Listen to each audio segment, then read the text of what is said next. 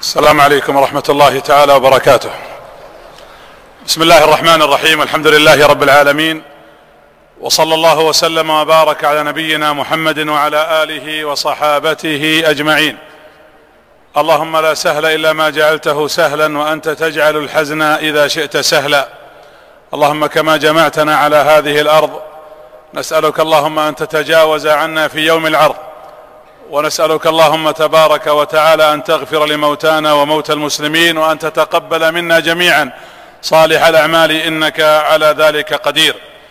أيها الأحبة الحديث عن سيرة النبي صلى الله عليه وسلم حديث ذو شجون والسيرة حياة لأن السيرة أصلا ما سميت سيرة إلا لنسير بها وتسير بنا أيضا هي من الدنيا إلى الآخرة. نتعلم من حياة النبي عليه الصلاة والسلام الدروس والعبر.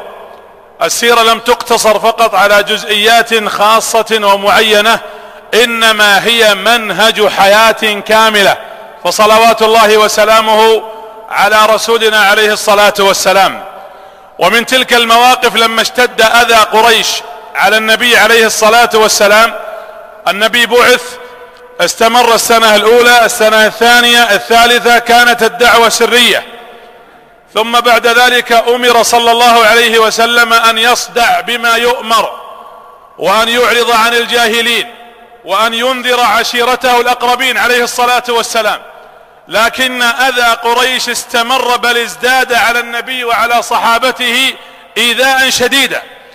فما كان من النبي صلى الله عليه وسلم بعد أن جهر بالدعوة واستمر قرابة العام والنصف إلا أن جمع صحابته رضوان الله عليهم في دار الأرقم. ثم خيرهم بفكرة جديدة بالنسبة للصحابة. العربي لما يقال له اخرج من بلدك اترك قبيلتك هذا أمر صعب جدا. فالنبي صلى الله عليه وسلم لما جمع الصحابة رضوان الله عليهم قال لهم هل لا خرجتم أو لولا خرجتم يعني هاجرتم سافرتم. لكن وين يا رسول الله؟ العربي يعني تعود في بيئة معينة في أرض معينة بعادات معينة. فكان الظن انه سيقال اذهبوا مثلا إلى أرض فلانية قريبة متاخمة ملاصقة إلى مكة أو إلى قبيلة أخرى عربية. لكن لا لو اختار قبيلة أخرى العرب كل العرب وقبائل العرب تدين إلى قريش. يعني قريش لها يد على أي قبيلة عربية. والنبي صلى الله عليه وسلم نظرته أبعد. أنا أريد أرض وبلد وجهة ليس لقريش عليها سلطان ولا تأمر عليها. فاختار النبي صلى الله عليه وسلم للصحابة الحبشة. يعني لاحظوا هذا الاختيار. بالمناسبة الحبشة في ذلك الوقت تعد إمبراطورية ثالثة. كانت الفرس إمبراطورية الروم إمبراطورية الحبشة بقيادة النجاشي إمبراطورية لها قوة ومستقلة تماما. ومع ذلك يختار النبي هذه الأرض وبالمناسبة ليست أرض مسلمة. ملكها نصراني وديانتهم ديانة المسيحية في ذلك الوقت. ولا يتكلمون العربية العادات تختلف. والأرض تختلف والبيئة تختلف. ومع ذلك هلا لولا خرجتم إلى وين؟ إلى أرض الحبشة. طيب ليش بالذات يا رسول الله صلى الله عليه وسلم لماذا اخترت الحبشة؟ قال لأن فيها ملك عادل لا يظلم في ملكه أحد. العدل أساس بقاء الملك. ولذلك قامت الأرض والسماوات على العدل. قال فيها ملك عادل. السؤال كيف عرف النبي عليه الصلاة والسلام أن النجاشي النجاشي هذا لقب؟ يقال لملك الحبشة نجاشي ويقال لفرعون مصر فرعون أو مالك مصر فرعون ويقال لملك قيصر القيصر في ذلك وكذلك الروم فارس الروم وفارس كل منهم يطلق عليه لقب كالنجاشي. فقال النبي اذهبوا إلى النجاشي فإنه ملك عادل لا يظلم في ملك أحد. هذه واحدة. الثانية قال فإنها أرض صدق. أهلها أهلها ناس طيبين. البيئة جيدة. فاذهبوا إليها. طيب كيف كان تقبل الصحابة لهذا الطرح؟ يعني المسألة فيها اختلاف. أطلع من بلدي وأترك قبيلتي ومع ذلك أذهب إلى بلد. لا تتكلم لغتي وليست من جنسي وليست من عاداتي ولا أدري وش المصير الذي سيقابلني. وافق الصحابة. وذهب رضي الله عنهم وأرضاهم. وأطاعوا النبي صلى الله عليه وسلم. الرسول يقول اذهبوا لعل الله يجعل لكم فيها مخرجا ولكم فيها فرجا وهذا هذه الهجرة الأولى. الهجرة هنا ذهاب الحبشة. النبي صلى الله عليه وسلم خلنا نقول سوى فيها ثلاث أشياء. ثلاثة في واحد. اولا يقول لقريش يعني بالمعنى العام يسمحوا لي استحوا عيالكم اطلعوا أبناؤكم تركوكم. يا أبو سفيان بنتك أم حبيبة ستهاجر. عيب. يا عمرو بن العاص أخوك سيترك مكة. وين الإيمان؟ فكر شوي. وهذه ضربة إن صح التعبير لقريش. لعلها تصحو من نومتها وتفيق من غفلتها. هذا واحد. اثنين النجاشي يقال له أتيناك أيضا بفلذات أكبادنا ورجال ليسوا كلهم مستضعفين. نعم فيهم ضعفاء لكن فيهم عثمان بن عفان من سادة قريش وفيهم رقية بنتي بنت محمد صلى الله عليه وسلم وفيهم عثمان بن مضعون من ساداتهم وفيهم عبد الرحمن بن عوف من سادات قريش. وهذا رد على حتى من قال ما فعلته قريش أنه جاءك ضعفاؤنا والمستضعفين فينا. فهذه النقطة الثانية. ثلاثة أرسل مع الصحابة من؟ أرسل معهم رقية بنته كأن يقول ليس أنتم فقط يعني أنا ما ضحي فيكم لحالكم. أنا أرسلت معكم بنتي وزوجها عثمان بن عفان رضي الله عنهم أجمعين. فيذهبون إلى الحبشة.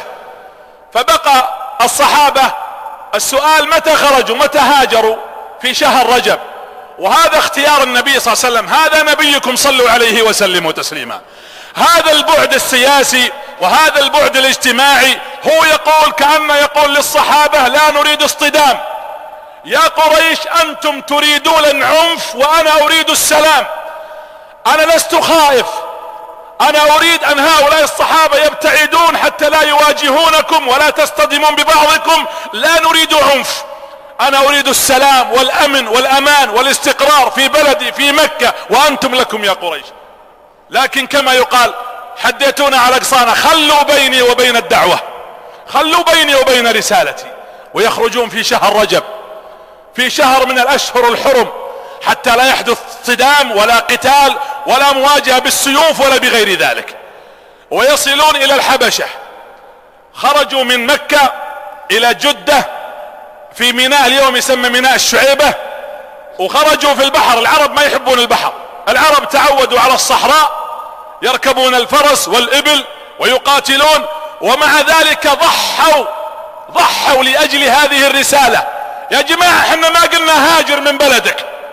إحنا نقول هاجر عن المعصية. ما قلنا للمرأة اذهبي سفرا واركضي على رجليك مسافات طويلة. نقول ضعي الحجاب وتحجبي بما أمر الله. النفوس ضعيفة تصلي أحيانا صلاة الفجر فلا تجد إلا اعدادا قليلة. الهجرة من المعصية إلى الطاعة مفتوحة قبل الهجرة قبل فتح مكة وبعدها. وهؤلاء نفوسهم كبار رضي الله عنهم وأرضاهم. ويركبون على سفينتين اثنتين. قافلتين تجارية دفع كل واحد نصف دينار أو دينارا ثم ركبوا بلغ قريش بالخبر أن في مجموعة ستهاجر. حاولت أن تدركهم ما لحقت. لما وصلوا عند الساحل وجدوا القاربين أو السفينتين قد تحركتا. بالمناسبة هجرة الحبشة هجرتين. هذه الهجرة الأولى كانت في السنة الخامسة في شهر رجب. ولذلك تجدون في كتب السير يصير عند بعض الناس اختلاف. الهجرة الثانية كانت في السنة السابعة. الأولى خرج 11 رجل وأربع نساء. والثانية خرج 82 رجل و18 امرأة. يعني عددهم 115 فلما بلغوا أرض النجاشي قريش ضاقت بها الدنيا. كيف استطاعوا يصلون للحبشة؟ خافوا. وش عندهم؟ يخططون استخبارات بيتكاتفون ويتحدون مع النجاشي ثم يهجمون علينا يجب أن نقطع على المسلمين هذه الهجرة. فأرسلوا رجلين اثنين يذهبون إلى إلى النجاشي. أرسلوا عمرو ابن العاص ومعه ابن أبي ربيعة إلى النجاشي. عمرو بن العاص له علاقة بالنجاشي. وقالوا انت تستطيع انك تقنعه انه يرجع لنا هؤلاء المهاجرين.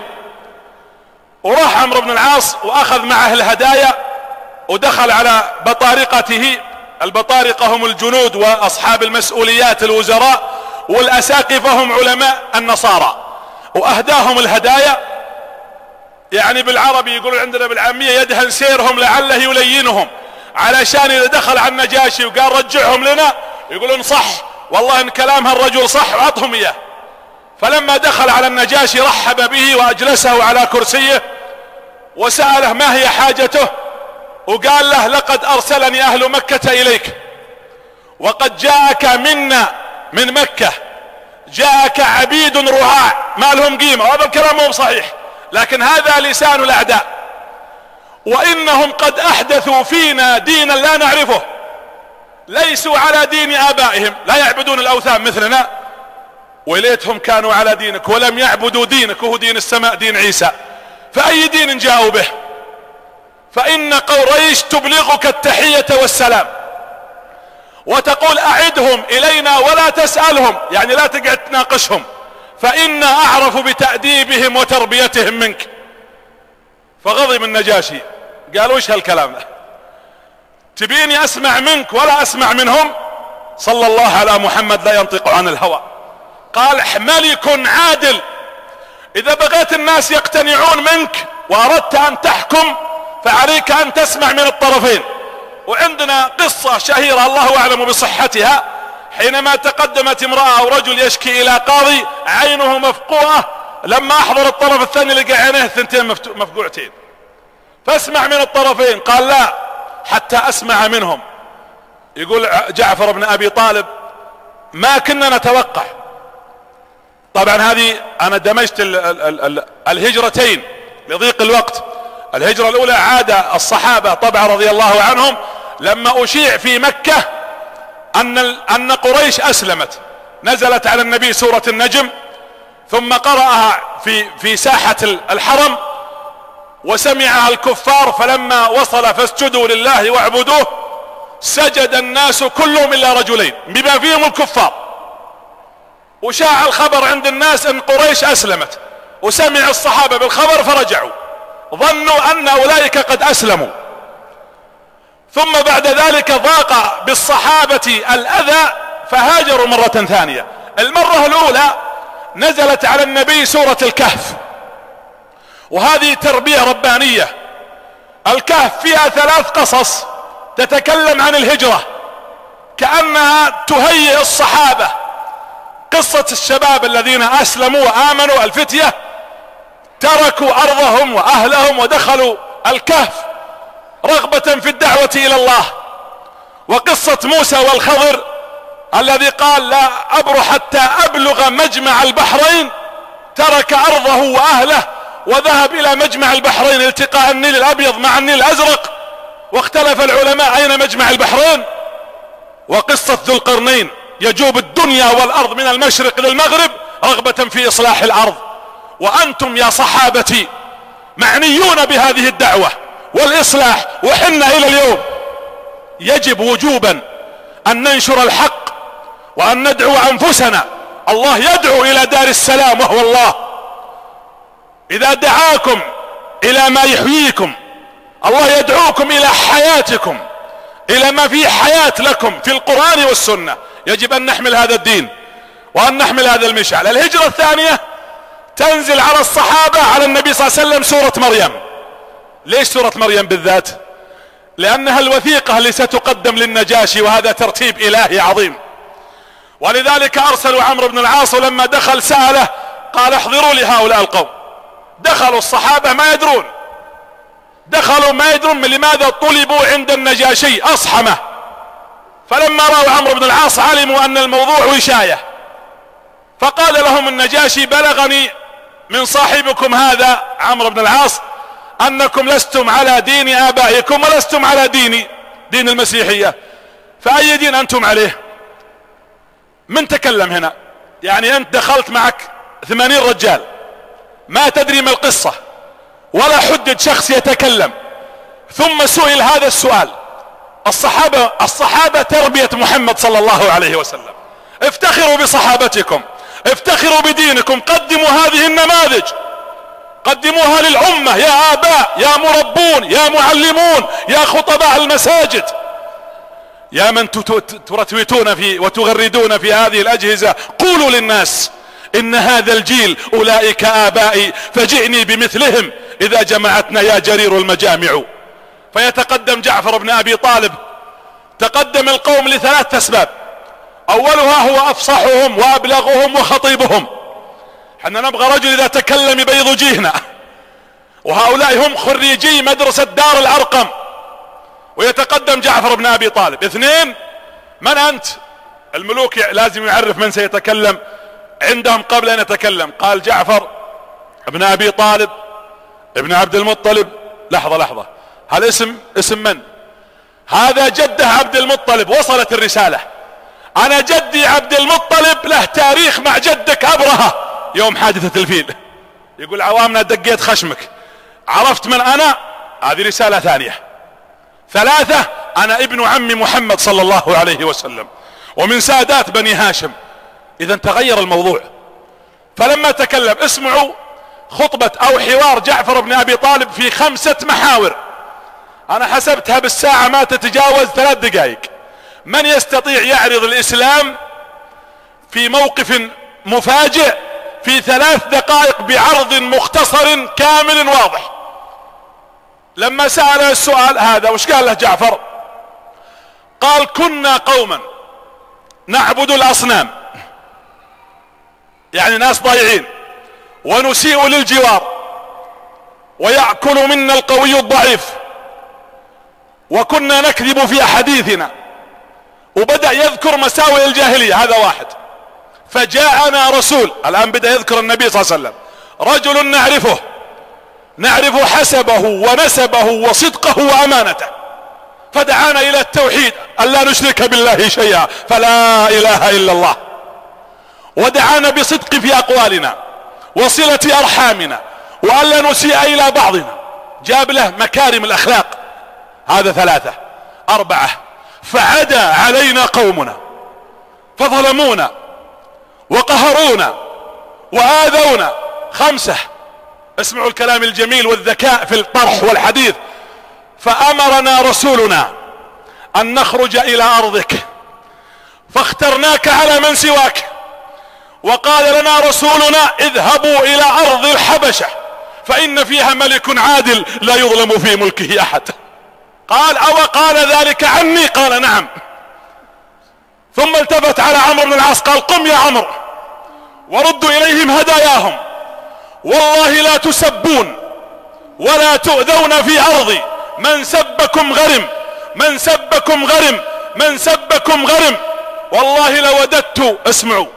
لو أعطيت يقول لو أعطيت جبلا من ذهب لرددته ولا يؤذى فيكم مني أحد. ابقوا في ارضي آمنون سالمون. هذا ولذلك النبي صلى الله عليه وسلم عرف له قدره. الصحابة ترى راحوا الحبشة في السنة الخامسة. تدرون متى رجعوا؟ رجعوا في السنة السابعة بعد الهجرة بعد خيبر يعني أكثر من عشر سنوات.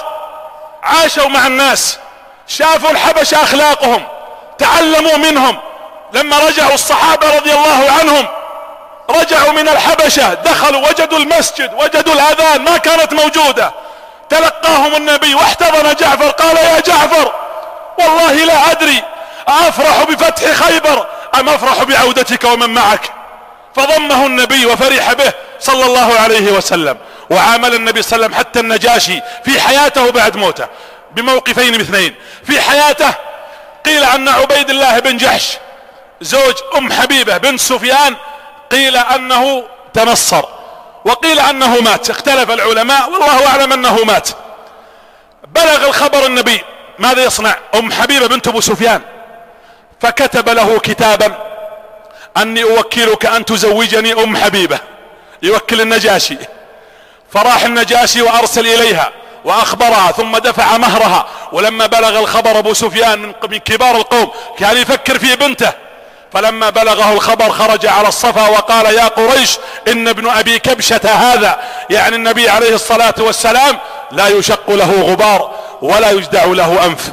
نأخذ من هذه القصة وهذا الحدث لا لليأس فالإصلاح قائم.